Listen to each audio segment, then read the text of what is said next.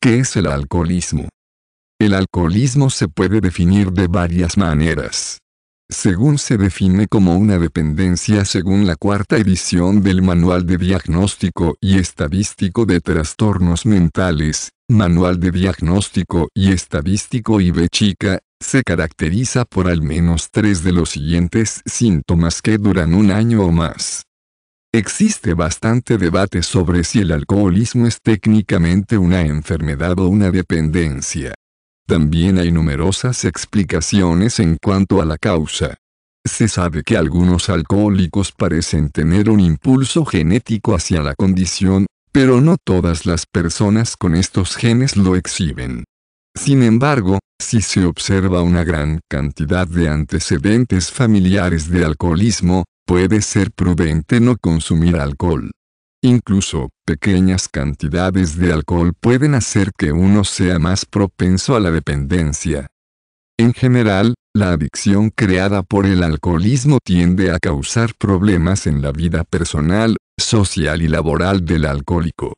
En la mayoría de los casos, estos problemas por sí solos no pueden ayudar al alcohólico a dejar de beber, una señal segura de alcoholismo. De hecho, muchos alcohólicos en recuperación creen que la mayoría de los alcohólicos deben golpear el fondo de la roca extrema antes de comprometerse con la sobriedad. Además, beber en exceso es, en esencia, envenenar el cuerpo. Los alcohólicos corren el riesgo de destruir sus riñones, hígado y numerosos componentes de enfermedades cardíacas cuando continúan bebiendo.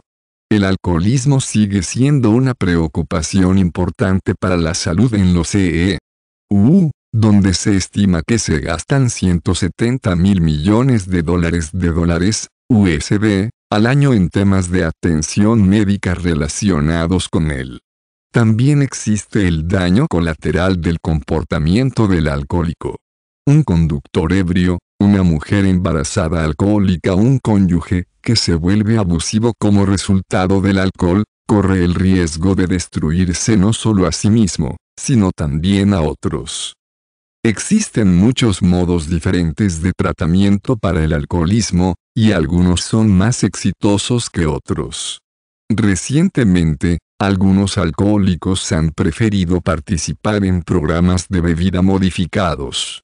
Sin embargo, estos programas son de reciente creación y probablemente no sean tan efectivos como la abstinencia total.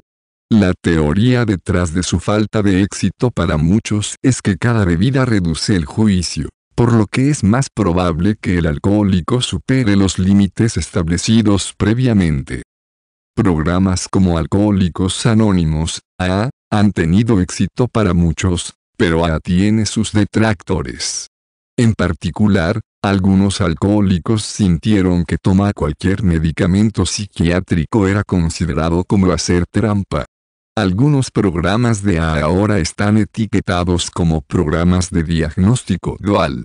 Abordan el alcoholismo de la persona y otras enfermedades mentales sustantivas al mismo tiempo. Estos a menudo han demostrado ser efectivos para aquellos que se convirtieron en alcohólicos para enmascarar los síntomas de una enfermedad mental significativa. Otros usan una combinación de terapias psicológica y farmacológica. Ciertas drogas, crean aversión al alcohol o bloquean el placer del cuerpo liberando la respuesta hormonal al alcohol. Este último puede con el tiempo ayudar a que el bebedor se detenga, porque no hay recompensas mentales que se pueden obtener por beber de forma continua. Lo primero puede ayudar a uno a dejar de beber porque causan enfermedades extremas si uno bebe.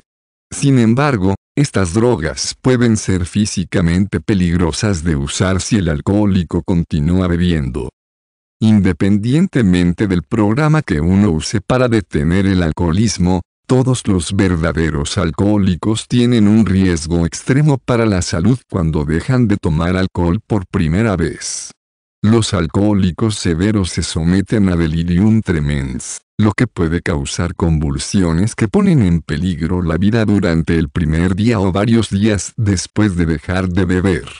Por lo tanto, dejar de beber debe hacerse bajo la guía de profesionales médicos, quienes pueden ayudar a administrar una terapia con medicamentos que prevenga convulsiones.